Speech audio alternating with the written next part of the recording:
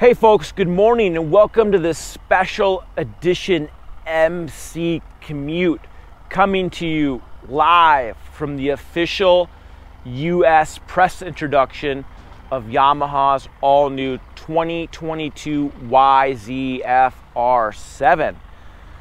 Now, this YZF-R7 is a new super sport style motorcycle that effectively replaces on paper but not in spirit Yamaha's YZF R6 which was retired for the 2020 model year due to cost and low sales.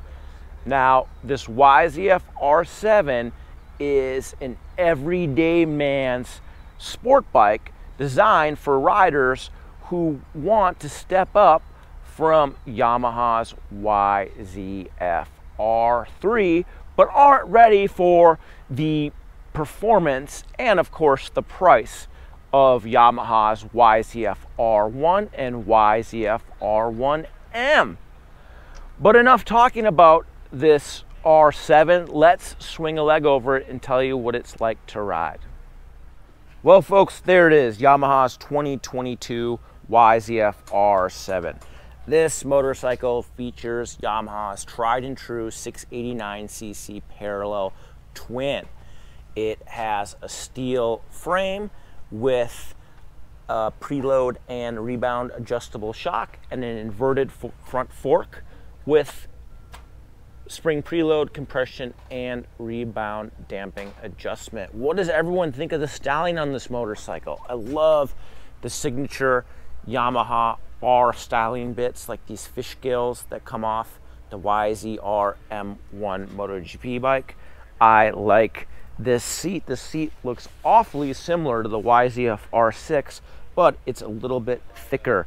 There is room for a passenger if you want to bring a passenger nice sharp LED lights. I love that. Under slung exhaust, another signature R6 style styling point. Clip-on style bars below the top clamp. This is a cast gravity top clamp while the bottom clamp is of forged alloy. Yamaha did that so the bike has good rigidity balance and feel when it's leaned over in a turn. What does everyone think of this YZF R7? Let's swing a leg over it and tell you what it's like to ride. All right, folks, here we are riding Yamaha's 2022 YZF R7 at the official US press introduction for this vehicle at Atlanta Motorsports Park in the Peach State.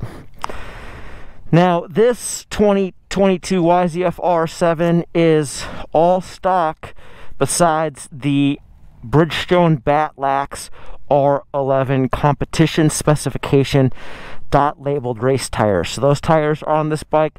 This motorcycle also is outfitted with Yamaha's GYTR accessory quick shifter right there. So we can shift gears without having to use the clutch. There's our buddy 650 Ebe on YouTube. Check him out. He's got great content. The street racing's kind of uh, for me, but everything else is great. So this is Yamaha's new Super Sport. Let's start her up and go. There are no power modes, traction control, nothing. All we have is ABS, so it's pretty easy to set the bike up. You just turn it on and go. And away we go. This motorcycle is powered by Yamaha's tried and true 689cc CP2 parallel twin. This engine was introduced seven years ago or six years ago for the 2015 model year with the FZ07 turned MT07 so this engine's so awesome because it is compact, it's small, and it produces the majority of its torque from as low as 3,500 RPM all the way to redline. Now at the business end of this tire, it produces 67 horsepower at the 180 series Bridgestone tire.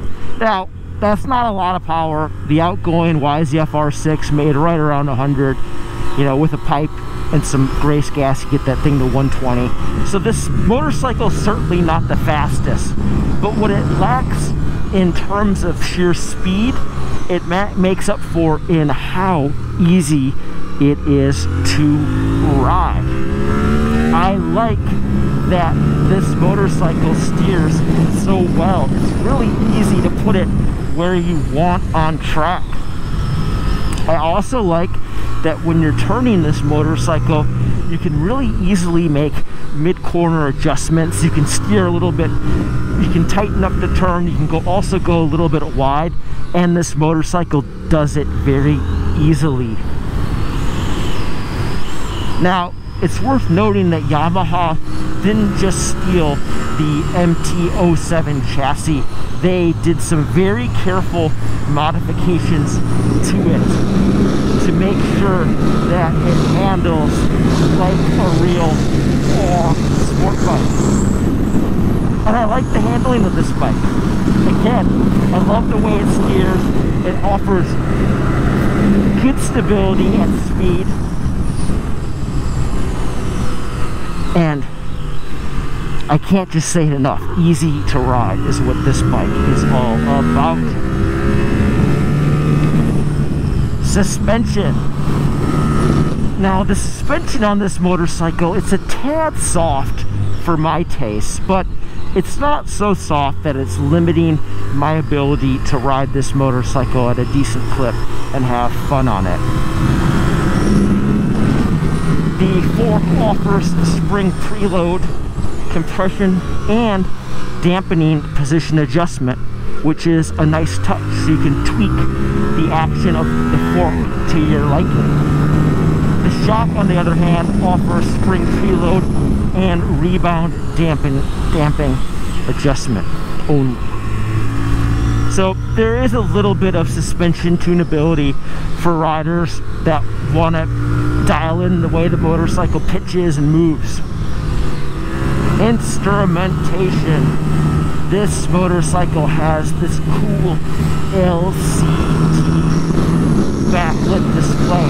Now, I like this instrument panel, but the gear shift indicator, gear position indicator could be a little bit bigger. It's a little hard to see what gear you're in. Right now I'm in the wrong gear. I should have been in fifth gear, but I will do that turn. But it's okay because we're still having fun. Brakes. Triple disc hydraulic brakes slow this bike down. The brakes are definitely effective at shedding speed on this 414 pound YZF R7. For reference, the R6 weighed five pounds more at 419.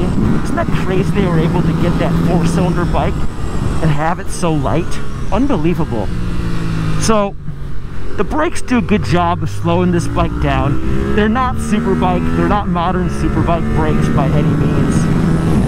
But they're effective and ABS always on ABS mitigates any wheel instability during brake application so and to be honest at this pace even at this elevated pace I haven't felt the ABS intervene all day.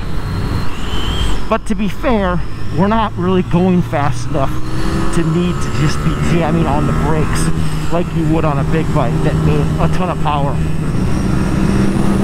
I love this section of turns. It's fun just to pull this thing wide and just run through the gearbox. I love that sensation.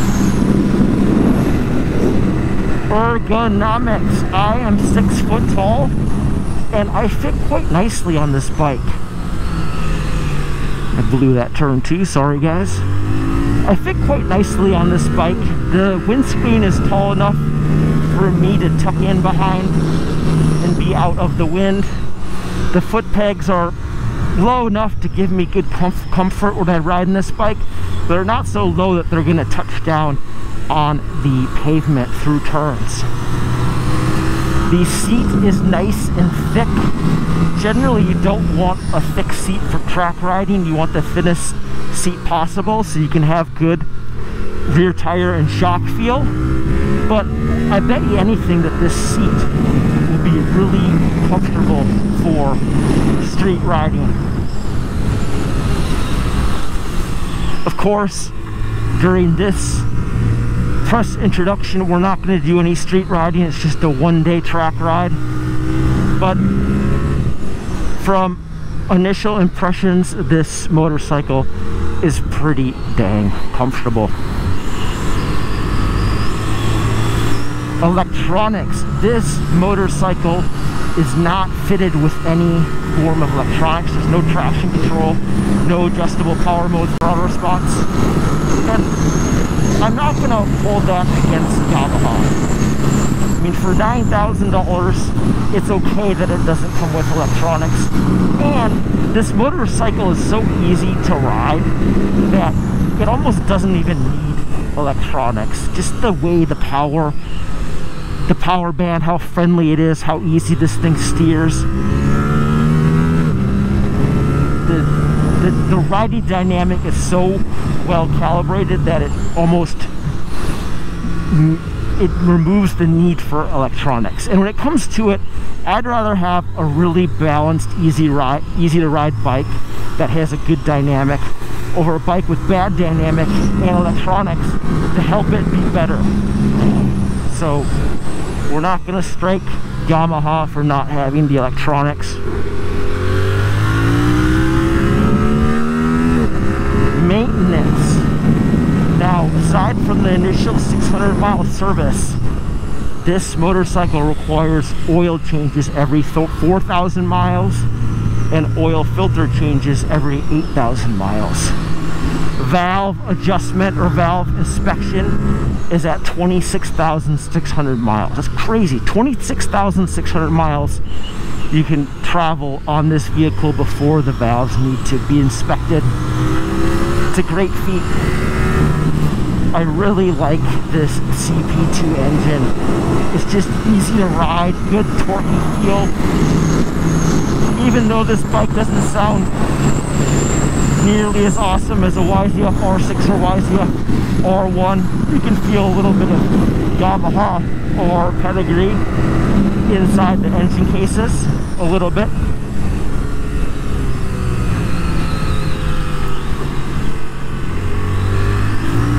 Now, for some, the fact that this motorcycle is named YZF R7 is going to be sacrilegious. The original YZF R7 was a limited edition superbike 750cc inline four superbike made for the 1999 model year. But Yamaha they wanted to name it the YZF R7 because they didn't think people were going to buy it if they didn't. If you guys remember the FZ6R from back in the day that thing was a nice bike but it didn't really sell.